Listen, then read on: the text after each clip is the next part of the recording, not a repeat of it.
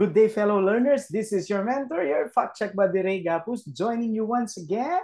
This time around, we are going to talk about case number 13 in this learning and teaching session that we're going to have today. So before that, may I once again knock in your kind-hearted spirits and please, please, please join us in this mission. Our goal is to provide free NCLEX RN application and review to 100 nurses. We actually plan to increase it to 300 this year. I'd like to take one of our NCLEX RN passers who wants to remain anonymous. She gave 20,000 pesos for this scholarship program. Thank you very much.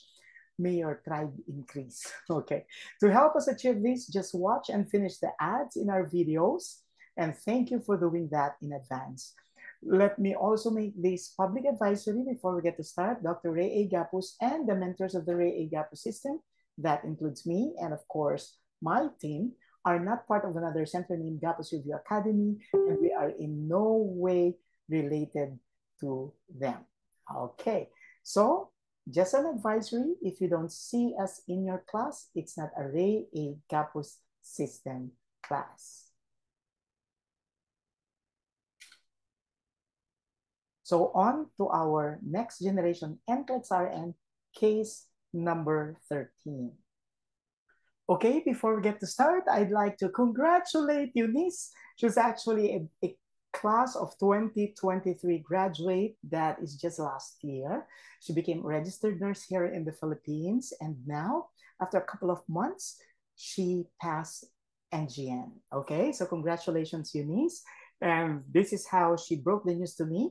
Good afternoon po, Sir Ray. I'm thrilled to share the exciting news that I passed the NCLEX RN. And I say, um, congratulations to you once again, Eunice. And thank you very much for your trust in our system. Now, on to our NCLEX RN alert. We will talk about macular degeneration. But before that, let me share with you one of the ingredients of the success recipe of Eunice in her recent NGN test. So I asked, um, was the NCLEX 311 NGN edition helpful?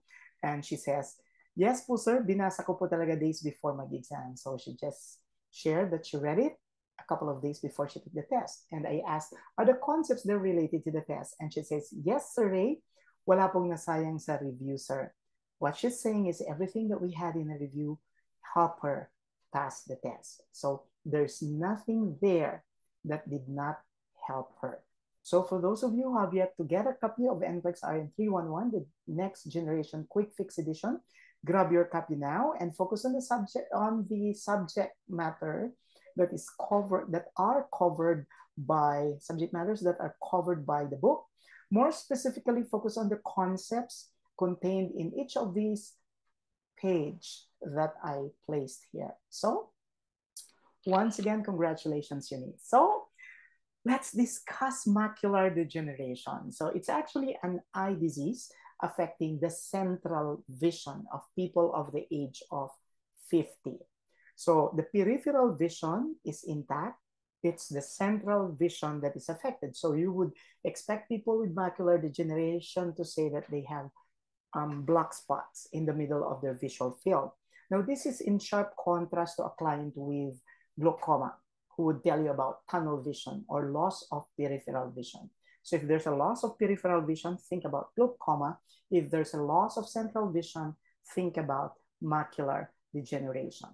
So in macular degeneration, central vision is affected while the peripheral vision is fine and intact. Now, what are the risk factors that could potentially lead to the development of macular degeneration. Now, take note, this condition is treatable, but it is not curable, which simply means whatever function is lost in the eye could no longer be brought back to its normal state. However, we can prevent the progression of the condition. So the risk factors includes um, those that are contained in the mnemonic show ID. It's like show your ID and use your eyes to check on it. So smoking, having family history of macular degeneration. So check if the parents had it. If the client is overweight and if the client is white or Caucasian. So this is also common to those with increased blood pressure or those that have hypertension, and those whose diet are high in saturated fats. So we can say, um, noting that you have here smoking, increased blood pressure, diet high in saturated fats, this could be in part due to um, unhealthy lifestyle. And of course, you have there also risk factor um, identified, one of the risk factors identified, overweight. But we're not discounting the fact that this could also be associated with familial predisposition, as there could be family history related to the disease, and it could also be race related. So the common manifestations of macular degeneration include, number one, you have blurred vision, and then you have LBC, low vision, blank spots, curvy or wavy lines. So if you get to um, ask the client what's the common disturbance that they would usually experience when they are describing the symptoms related to this condition, you would notice that they would usually complain about straight lines not looking straight. What they used to consider as a good visual field when they are exposed to straight lines would now appear curvy or wavy. Thus, the test that is usually done for this client would be your Amsler grid test. So the client is usually shown straight lines that crisscross, and then you have a uh, dot in the middle, and you will have to ask the client to describe it. And eventually, this is the kind of description that they would talk about, that the lines are wavy, that they have a, black spot in the middle, where the lines are curvy. Okay, so another test would be your fluorescein angiography. This involves injection of a dye, followed by the use of a camera to track where the dye would go. And usually, this dye would reveal any leak that occurs under the macula. We also have your optical coherence tomography or OCT. It's a non-invasive procedure. All we have to tell the client is to look into a lens while the machine takes pictures. After that, the pictures are analyzed.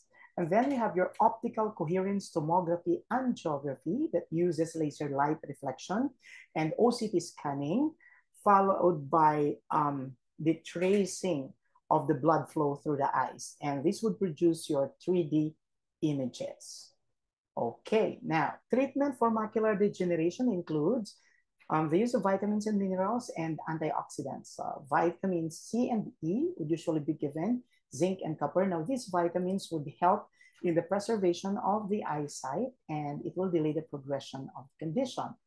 On the other hand, your antioxidants would actually protect the cells from the damage caused by oxidation. So you have the drug zeaxanthin and of course, lutein.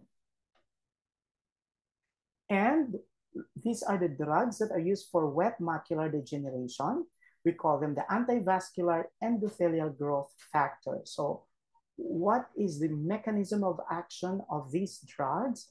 First and foremost, it prevents the formation of blood vessels that grow abnormally. And these blood vessels that grow abnormally eventually would leak beneath the macula. So these drugs therefore prevents the formation of new blood vessels that could adversely affect the macula. And you have here your our examples. You have your faricimab, ranibizumab, aflibercept, and bevacizumab. So pay particular attention on the suffixes, zumabs, ranibizumab, bevacizumab. So these are drugs for wet macular degeneration. I'd also like to highlight one important thing. Now, if you are given a case related to age-related macular degeneration or macular degeneration, you have to focus on the type because a client with dry macular degeneration should be referred to an optometrist. An optometrist is a doctor of optometry primarily tasked to adjust your lenses in your eyeglasses. And at the same time, they can treat eye conditions, but usually they can't perform surgical interventions. For clients with wet macular degeneration, initially you refer them to an optometrist and then eventually to an ophthalmologist. So an ophthalmologist is a doctor of medicine that has specialized in eye disorders. So they can treat all sorts of eye disorders and at the same time can perform surgical intervention. So once again, if you have dry macular degeneration, refer the client to an optometrist. For wet macular degeneration, initially to an optometrist and then to an ophthalmologist. And if they would need um, adjustment to activities of daily living brought about by their blurred vision, then they can be referred to an occupational therapist. So here's a case number 13, a 71-year-old white male. We have two risk, factor there, risk factors there. You have a client about 50 years old, and of course, the client is Caucasian, white male, comes to the emergency department complaining of dark spots in his vision. You have another outstanding uh, manifestation there associated with macular degeneration. He also tells the nurse the pedestrian lanes look wavy and curvy. There you go. That sorts of, it completes the group of factors that we're looking for in order to arrive at an inference of what the client's condition is. So this has made crossing the streets a challenge for him. So the nurse should anticipate treatment for the client to include is it one, miotics? Now, miotics, example would be pilocarpine. These drugs are given to clients with glaucoma and not macular degeneration. So mydriatics, these are the drugs that dilate the pupils. Example could be your atropine eye drops that are usually administered to both eyes before eye examination. Vitamin and mineral supplements, and of course, surgical extraction. Surgical extraction, this is actually an intervention for clients with, for example, tumor of the retina or when the client is suffering from retinoblastoma. So the best answer is definitely number three, vitamin and mineral supplements. This will help delay the progression of the condition and could help preserve the existing functions of the macula.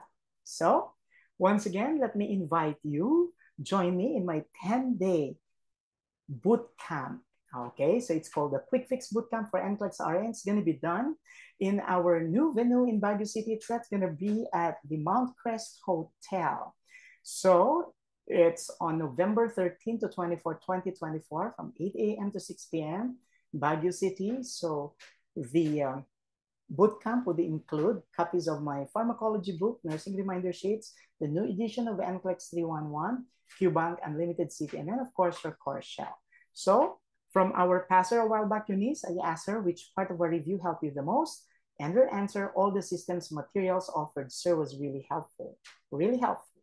So from the comprehensive lectures, take-home exams of our lecturers, bootcamp, course shell, now that is included if you enroll in the bootcamp, quick fix books, and even videos from your YouTube, all were helpful. So join our hundreds of thousands of passers from last count 35 countries all over the world, including a 60-year-old who passed the test last year, and these passers who are growing each day. So the second most important thing that you have to remember when you're preparing for the NGN is to learn how to study technology because the test is technology based. So here at the Ray Gapuz system, our tools are published by world-renowned publishing companies. And of course, we have our own set of learning tools, including our own learning management system, which we call Ray Gapuz review system core shells that covers all the subjects that you'll find on the test from safety and infection control, basic care and comfort, health promotion and maintenance, management of care, pharmacological and parenteral therapies, physiological adaptation one, two, and three, reduction of risk potential, and psychosocial integrity. You have it all. So please do inquire at our front desk. This is one of the reasons why we are having a lot of passers. Your access is unlimited. And what makes this different is that you're given monthly updates. And the third requirement to pass NGN is for you to be in a conducive environment that should keep your focus. So at the Ray Gapuz system, we have our own NGN simulation laboratory and we keep our class size to a very comfortable level. So may I invite you to join me in my next generation NCLEX RN Flex, the most flexible test prep class for the NCLEX RN. The fee starts at 3,499 and you can choose your schedules You have weekdays, weekends, night classes, morning classes, whole day classes, half day classes, two hours class, okay?